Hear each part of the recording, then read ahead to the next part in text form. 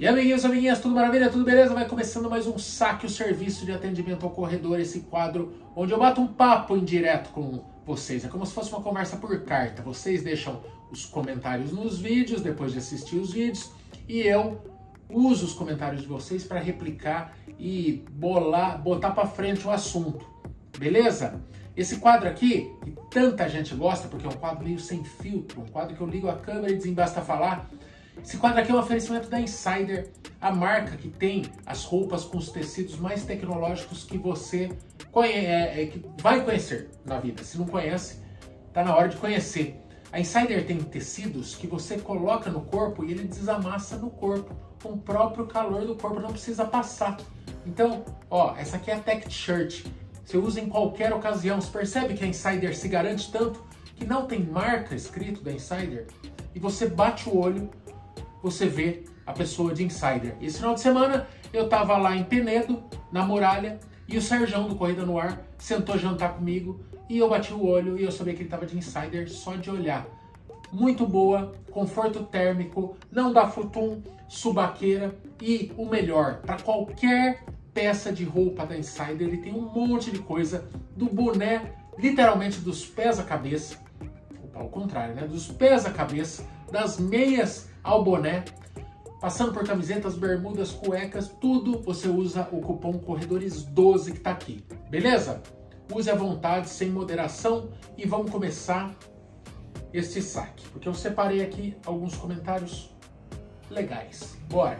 Bom, vamos começar por comentários feitos no vídeo da muralha.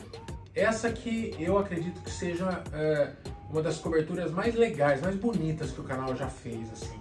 Ficou bem legal porque eu pude me dedicar, né? Eu não, não corri, porque é uma prova só de 42 quilômetros e tá, tá cedo para mim, né? Por óculos, gente, porque eu tô velho, né? E eu, tá, tá cedo para eu fazer 42, então eu fui para cobrir, então eu pude me dedicar muito mais às imagens, a subir drone, a quase perder drone. Então, modéstia à parte, ficou bonito mesmo. Assista lá, você vai ficar com vontade de fazer. Eu queria passar no vídeo, é, deixar as pessoas com vontade de fazer a prova, assim como eu fiquei. É, e pelos comentários a galera é, realmente está ficando com vontade, beleza? A Kelly Dias fala, os vídeos do canal, como sempre, os melhores, deixando a gente com vontade de fazer também. A meta atingida. Consegui virar maratonista esse ano. Até eu fiquei com vontade, tio Mike. Imagina você que tem algumas maratonas registradas. Adorei.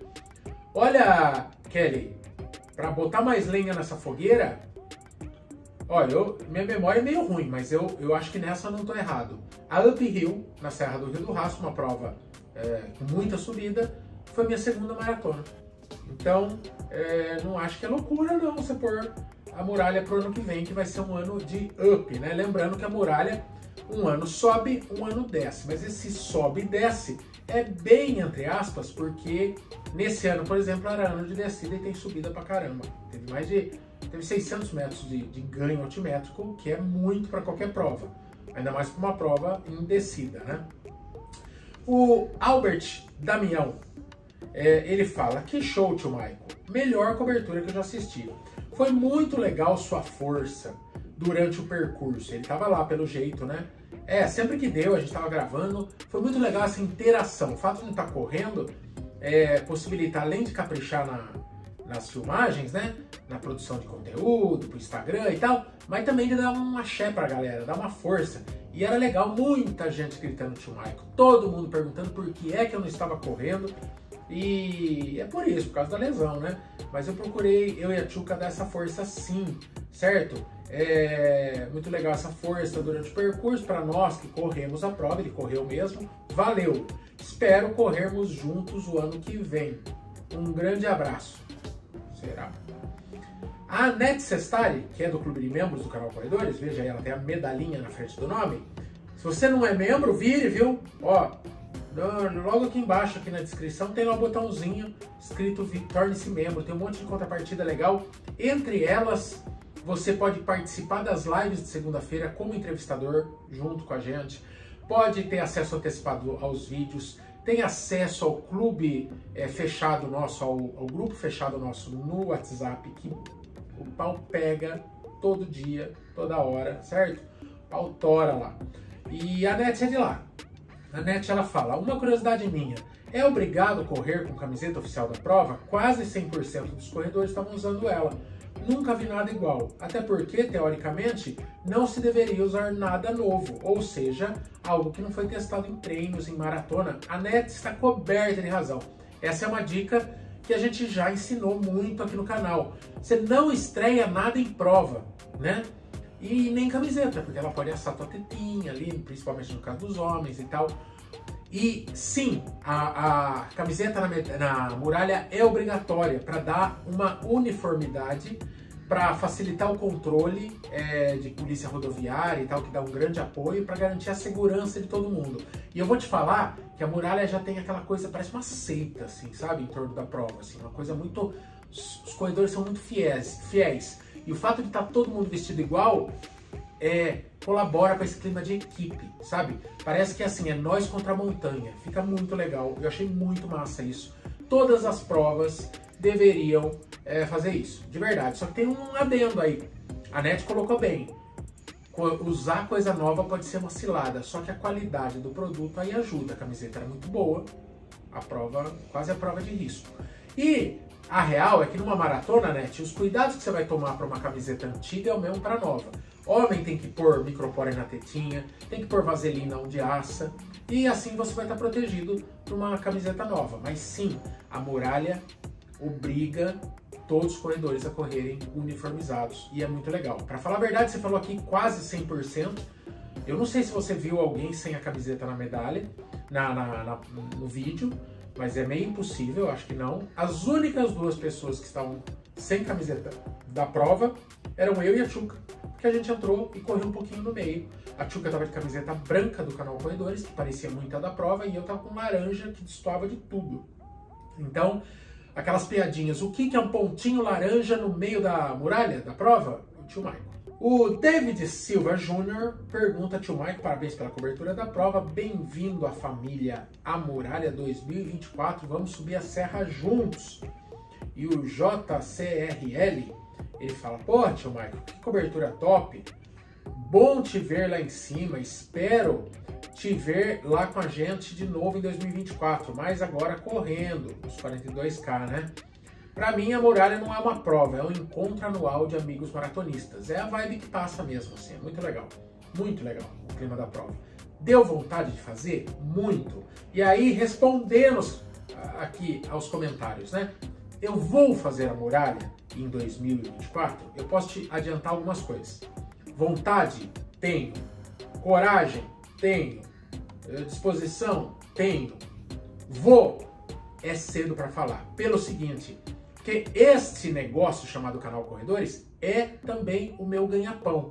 E eu preciso sempre pensar comercialmente. Pode acontecer de entrar uma proposta de uma outra prova que acontece uma semana antes, uma semana depois, e eu não estou em condição de correr a muralha, certo?